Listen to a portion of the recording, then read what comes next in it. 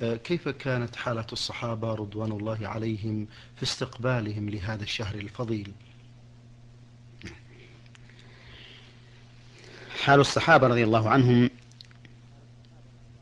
في مواسم الخيرات في شهر رمضان وفي عشر ذي الحجة وفي غيرهما من مواسم الخير أنهم أحرص الناس على اغتنام الأوقات بطاعة الله عز وجل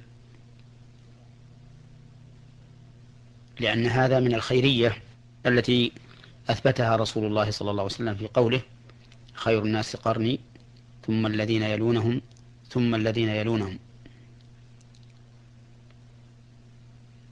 وهكذا ينبغي لنا أن نتأسى بهم في مثل هذه الأمور وأن نحرص على اغتنام المواسم بفعل الخير واجتناب الشر.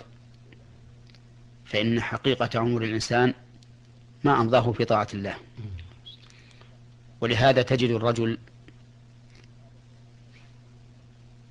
يرى أن كل ما فاته أو كل ما سبق وقته الحاضر من الدنيا كأنه ليس بشيء. كما قال الله تعالى كأنهم يوم يرون ما يوعدون لم يلبثوا إلا ساعة من النهار.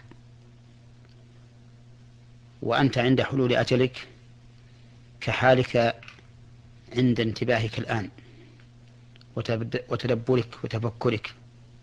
أي أنه إذا حل أجلك لم تجد معك من دنياك شيئا.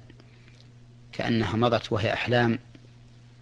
ولكن إذا كنت قد استوعبت هذا الوقت الثمين بطاعة الله فأنت في الحقيقة قد ربحت.